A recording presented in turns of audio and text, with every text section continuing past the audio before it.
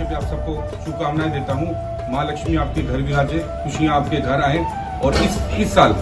हम बिना पटाखों के दियो से इस जग में उजाला फैलाएं और सबके जीवन में एक नई उजाली भरी रौनक लेके आए जय हिंद जय भारत